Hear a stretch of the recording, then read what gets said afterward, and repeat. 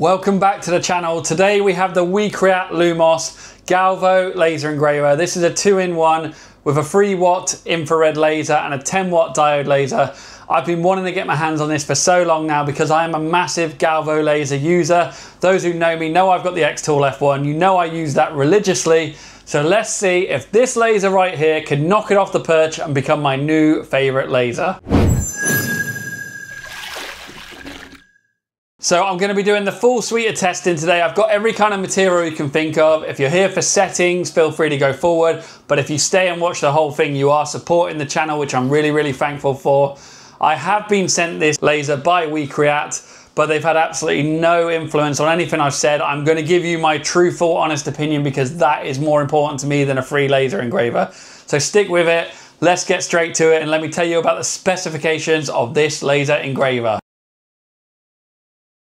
Let's kick off with the price. So $1,299 is the starting price for the base product. There are various tiers. So you've got one with the slider, one with the slider and the rotary and the extraction. I have got the slider. That's going to be coming in a later video, so check it out. Here are the specs. 10 watt diode, 3 watt infrared. It can cut 6 millimeters. It can engrave up to 4,000 millimeters a second. It can cut, it can engrave. It's got a working area of 116 by 116 millimeters. Comes with a HD camera, autofocus as well.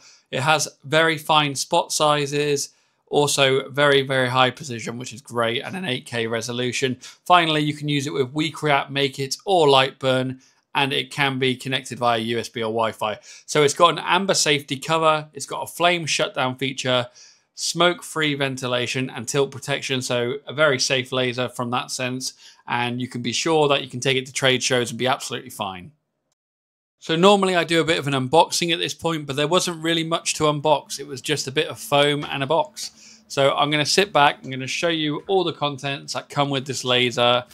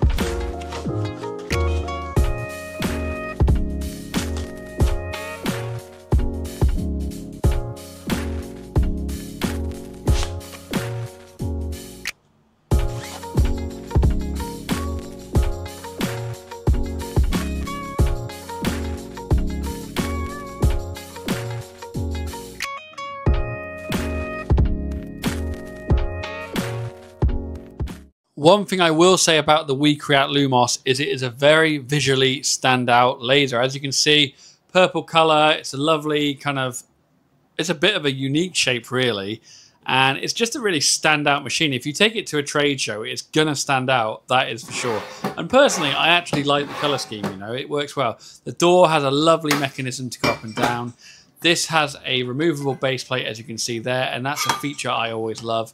And also within that base plate, you have threaded holes so that you can use your L brackets, and you get two of them as part of this. And that's really handy for getting your engraving blank set up. So there is a knob on the side to go up and down and also an autofocus button. You can do that via the software. Then you've got your auxiliary port and your rotary ports and a USB port for connecting it to the software and your power port. Then we'll move over to the rocker switch, on off switch. You know, this is a nice simple one. Now, this does have ventilation, as you can see, and you just have to attach your hose that comes with it to that. There is a power button on top, and it also doubles up as a carrying handle. And it is a heavy machine, but it does really well and it feels sturdy. So internally, this is the laser.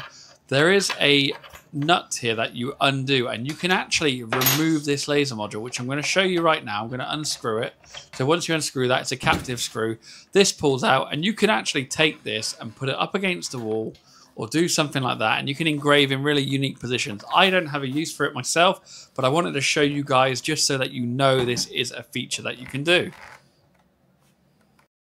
This was my first time actually using the WeCreat software and actually it was a very pleasant experience. I connected via the USB via the top right as you saw there. So let me show you, you've got a autofocus button that will focus the camera and then take a snapshot. And as you can see, the camera will kick in right now. And I think it's brilliant that you've got a camera on this machine and it's a really clear one.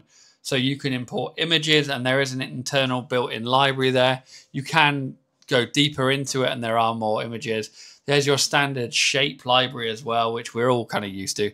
You can add text and within the text function, you have a very, very long list of fonts. So that's exactly what you need if you want to get creative, as you can see there. So moving on, there is a pen tool as well, which allows you to, to draw unique vector shapes. This will be good for very specific operations if you want to draw around complex shapes. So there is an AI feature. I haven't tried that myself, but within the toolbox there's a jigsaw puzzle, extract image, there is a material testing array, and there are some other things as well. And finally, you can import your images if you require. So now we're going to put in a shape and I'm going to show you some of the actual engraving functions of this. So moving over first, I'm going to show you, you've got the red light and the blue light. So you can specify between them. Depending which you pick, gives you a different set of materials naturally. So it's really great that they've got a material library and actually it's a very thorough material library that is, you know, actually quite good.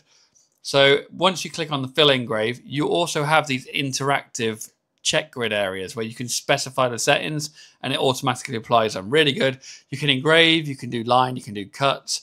There is a framing function, and if you want to do a detailed outline frame, you can do that, but you have to click start first. There's various different options there as well. Now, I really actually enjoyed using this software, and I thought it was really, really easy to use.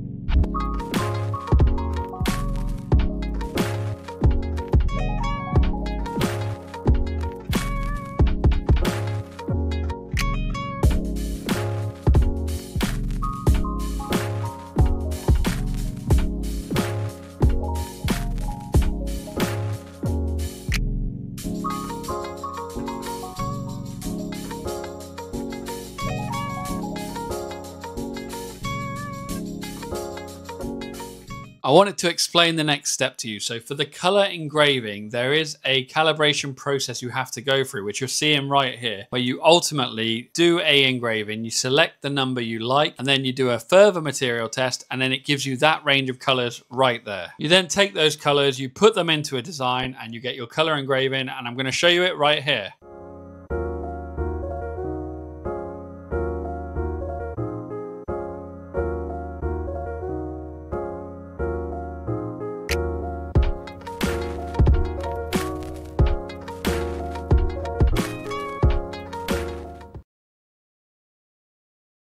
So there you have it. We've got our finished suite of materials there. We've done some serious testing on this lot and actually I'm really impressed with how it's all come out. That slate coaster, really clear, really popping. The color from this angle actually, it looks really good. The color wasn't as vibrant as I'd hoped, but I think that's more down to me than the actual capability of the machine. Here is a business card I tested previously with the optimized settings. I thought you guys might want that. We did a leather book pad there, a leather patch with an image on it, which also came out well. There, that demonstrates our cutting and also engraving of photos and onto that wood as well. The wood looks great. Then finally, this is my favorite thing that I've done. The aluminium black hip flask and the business cards came through absolutely amazingly. So I think you'll all agree this machine is really capable and it can come up with some great, great results. Now that I've had the chance to do the full suite of testing and really get to know this machine, I want to give you my pros and cons and let you know if I think it is something that you should get.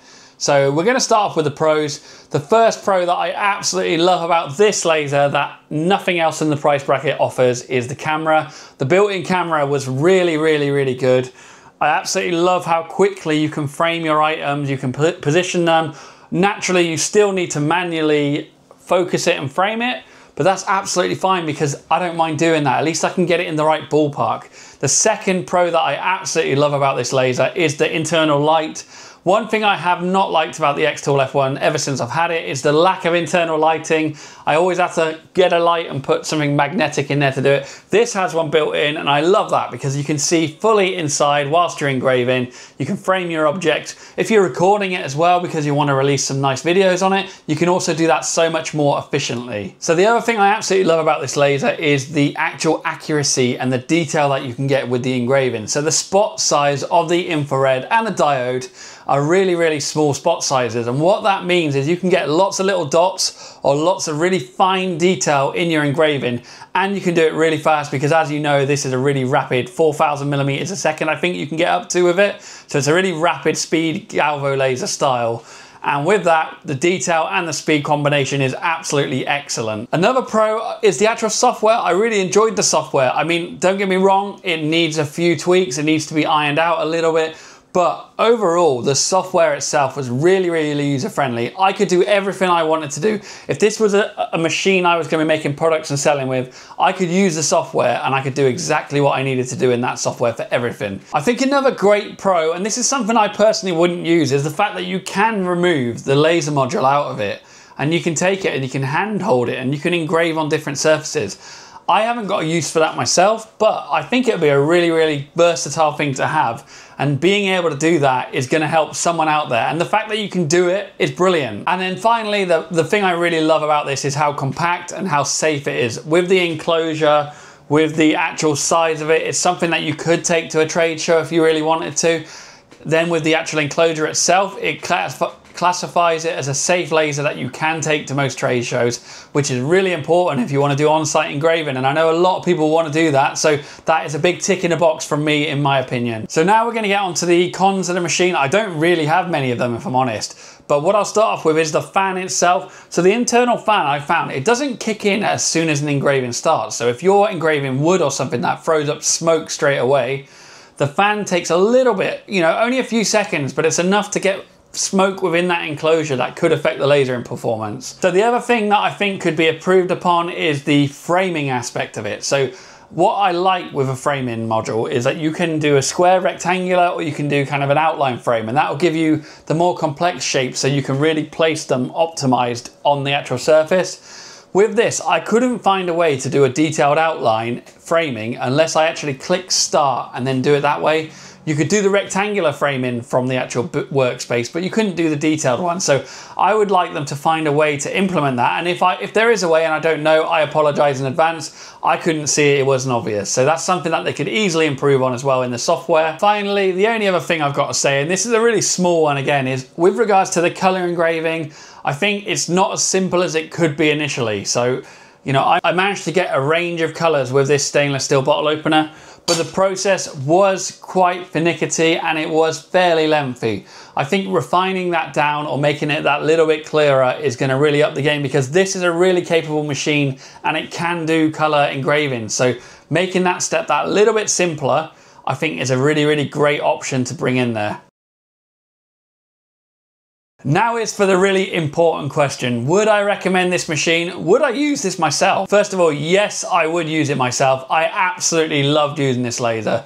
As someone who's a big Galvo laser fan, it's nice to have another one out there to choose. And I do use the xTool F1 on my lives with my social media. And this is definitely one that I could bring in and replace and the, the quality of the engravings would not reduce. The speed of the engravings would not reduce and it's, it can go toe to toe with the xTool F1. What I would say is where this is better than the xTool F1 in my opinion is the camera, the lighting, and it's got a slightly bigger footprint. So it just increases that capability that little bit more. It also has a more powerful infrared laser and that is something that could help with a various number of things. Would I recommend this? I certainly would recommend this. I think this is perfect for makers, professionals, someone who wants to go to trade shows and do on-site engravings, or someone who just has limited space like I do, who hasn't got a lot of room to have a massive laser, this brings that capability into your office, into your living room, into your bedroom maybe, and it gives you that easy opportunity to actually start getting creative and making products you can sell. I really, really would recommend it. I love the laser, thoroughly enjoyed it, and I will be using it going forward. Finally, I just wanted to thank you guys for watching the channel once again. I really, really thoroughly appreciate the support you all give me.